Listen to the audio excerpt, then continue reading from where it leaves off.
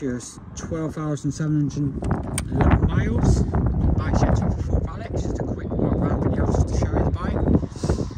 Start at the front, all the screens in nice condition, That's just the headlight, four legs are all nice, That's just the front mudguard, so it just need a valet. So looking a lot nicer once it's gone through those processes, front wheels nice, all the fairings to the right hand side are in nice condition, as is all the and the frame.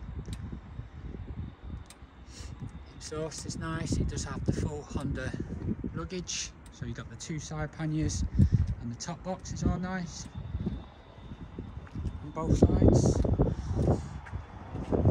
Drive shaft's all nice condition, this is the rear wheel. All the left hand panniers are nice, and so the frame. Really nice sports tourer. The engine bay's nice. As is the rear seat. And the main seat, along with the tank.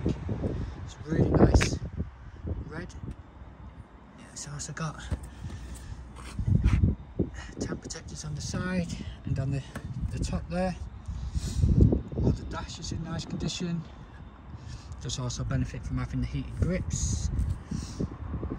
Everything does, does as it should.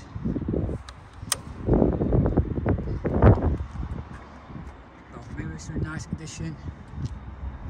Both sides. Overall, really nice example.